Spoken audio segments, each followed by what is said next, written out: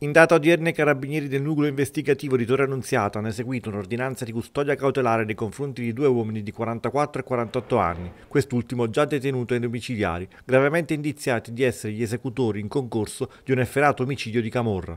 L'odierno provvedimento scaturisce da un'articolata attività di indagine coordinata dalla Procura della Repubblica di Napoli, DDA, relativa alla scomparsa di Calorei Raffaele, denunciata dai familiari carabinieri di Castellammare di Stabia il 10 settembre 2012. Le indagini hanno permesso di stabilire che il giorno stesso della scomparsa, attraverso uno stratagemma, la vittima veniva attirata in un'abitazione dietro il pretesto di poter discutere più liberamente di affari criminali relativi al traffico di droga. Fatto ingresso nell'appartamento, il caro lei veniva fatto accomodare al tavolo della cucina, dove in un attimo di distrazione è stato avvinghiato alle spalle da uno dei due complici che, bloccandolo nei movimenti, ha permesso all'altro di posizionargli al collo una corda, tirata all'estremità rispettivamente da entrambi, mentre un altro complice gli bloccava le mani per impedirgli di potersene liberare. Una volta ucciso, il cadavere dell'uomo è stato imbustato e caricato a bordo di un autoveicolo, con il quale è stato trasportato in un fondo della zona di via Schito e lasciato nella disponibilità di un altro complice che ha provveduto autonomamente a disfare disfarsene senza più permetterne il ritrovamento.